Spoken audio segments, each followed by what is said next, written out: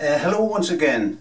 I thought I'd take time out from this project to demonstrate something I've come across which might be interesting to you guys.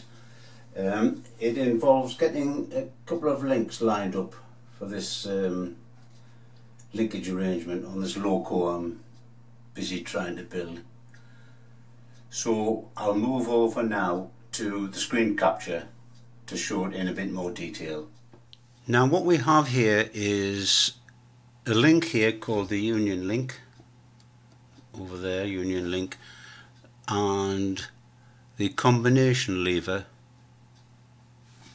over there the combination lever now the combi combination lever is pivoted at that point and the union link is pivoted at that point. point and the task is to swivel this round on that point and swivel that one round on that point so that these two pinholes align up perfectly so that that union lever part fits into that fork and is aligned with that hole perfectly.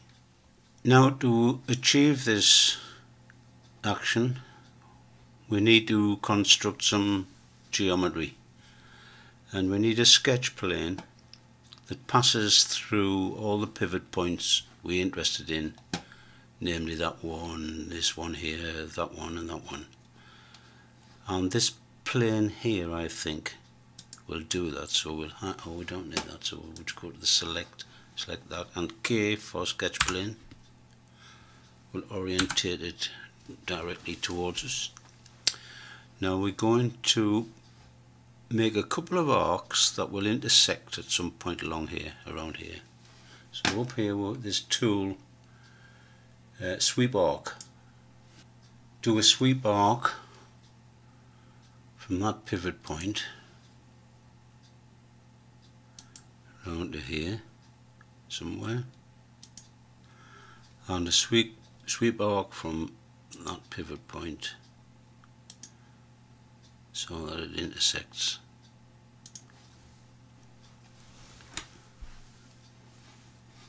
and then orientation lines from the pivot point.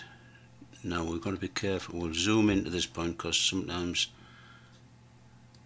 it can't be to that that looks like it's exact there. Click right and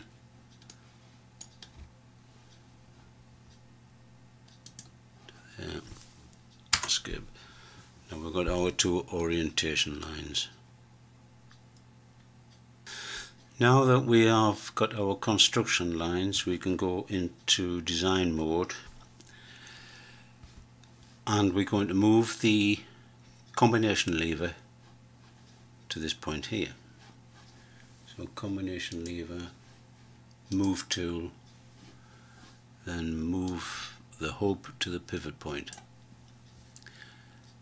Select the inline arrow, which is in line with that, and we're going clockwise so that's okay. Provided you, when you go clockwise the angle you're moving is less than 90 you're in business so we'll select that. The align tool and the construction line we've made.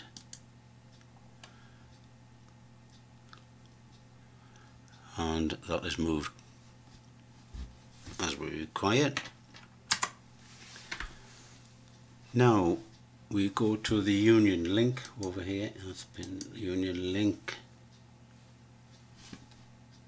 Move that to the pivot. Now the thing here is that this angle that we want to move is greater than 90 degrees. And the arrow is showing that we're going clockwise. So what will happen if I choose that then do an alignment it will run the wrong way. It'll line up along here along that direction. Watch. There you go. Which is not what we want. So we'll escape that and go back. So what we do with that is we manually make sure the union link is chosen. We will manually move it to less than 90 degrees. So now if we choose this red arrow align there we go escape and now we have linked up together.